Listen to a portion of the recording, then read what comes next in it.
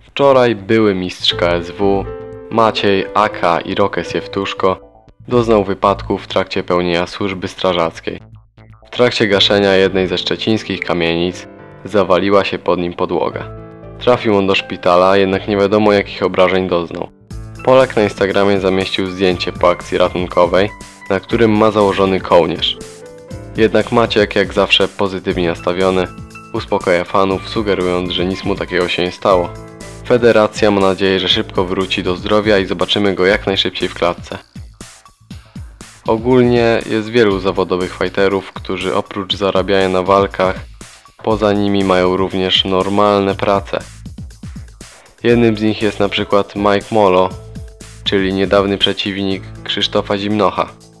Na co dzień pracuje na budowie, jednak co jakiś czas wraca na ring. Irokes ostatni raz walczył z Krzysztofem Kłakiem, gdzie wygrał na gali KSW 34. Jest to ponad półtorej roku temu. Mistrzem KSW został 5 lat temu. Mam nadzieję, że wróci i zostanie po raz kolejny pretendentem do posiadania pasa. Wypowiedzcie się, co o nim sądzicie. A jeżeli chcecie więcej informacji ze świata MMA, zapraszam na stronę MMA myślnik bądź na bieżąco.